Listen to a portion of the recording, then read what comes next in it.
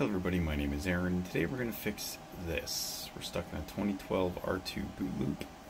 So the server boots up like this and keeps rebooting like this. So I'm going to trip the power plug right now, kill it in the boot loop, see if that helps. Okay, so cold shutdown didn't work. I was hoping maybe it would erase some cache files or something. So we got to boot into recovery. So I'm going to reset it right now. We're going to desperately hit F8.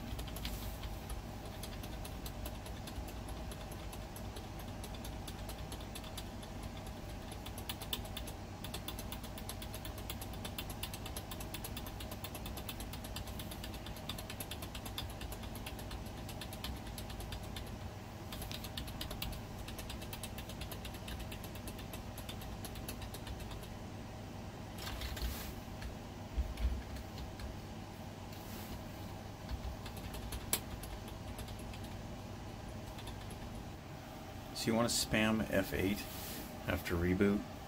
It'll get you this menu. One hit repair computer. Load some stuff. It's going to load the Windows repair utility. Go to troubleshoot. Command prompt. Got to log in with administrator. Please enter the password. And here's how you fix it. Let's go down the line. First thing I did is put in diskpart. Right, it brought up all my volumes. This is data data that system reserved on the C drive. So our C drive is F. I did a dir F to see the directories, and yes, Windows is here. So I did it. Uh, we went into the, then we exited diskpart after we saw all the labels. Hit exit. Then we put in this command here. Now I spelled it wrong, so we did it again down here. F, which is my C drive, which we just determined up top, and I did a dir check on. Windows side by side pending.xml. This right here is the directory of the update script. XML is the update script. So we did a move command to move that to this new location, which is pending.old. So we want it to be a file that Windows can't find so that it doesn't get in this boot loop. This XML right here is our problem. So after I hit enter it said one file moved and we're ready to go. We're to hit reboot, see what it does. Yes, and we're good. We are 100% live. Bam. I got a server here that is booting incredibly slow.